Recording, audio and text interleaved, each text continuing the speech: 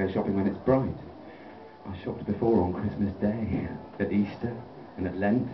I shopped before when I was broke and could not pay my rent. I do not need a reason to go shopping every day, for it's something that I do in a constant sort of way. I shop for fun and merriment. I shop for conversation. I shop for disappointment. I shop for irritation.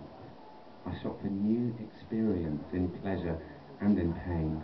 Occasionally I shop for loss, but mostly it's for gain.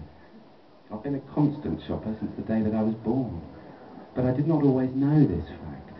I used to feel worn. Life felt circumstantial, like a, a massive game of chess in which other players' moves always got me in a mess. In truth, I felt a victim. I experienced my life as a story someone else was writing, full of pain, strife. Things would happen to me, and I felt I had no say. I remember often thinking, I don't want to go this way. But I went there, nonetheless, to that place of the insane, the place we choose to fight against the things we can't explain. I lived for several years there, fighting in the dark, a child of abandonment, a dog without a bath. And on the darkest day, I surrendered to the fight. And the moment that I did, I was given a clear sight. I looked around and startled saw that everything was new. The moment had refreshed my mind, just to show me what was true.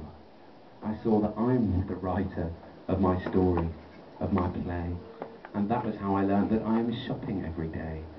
And now that I am conscious, I buy only what I need, for my soul is mine to nourish, and to nurture, and to feed. Things no longer happen to me, now they happen for me. I'm loving every moment, and the moments, they adore me. Everything that happens is a thing that I have bought. Every single action, every single thought.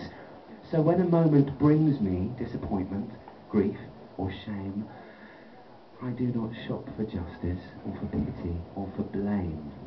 I remember that I shopped for the experience at hand, and I let the feelings run through me, like water through the sand. All of us are shopping. It's the thing we love to do.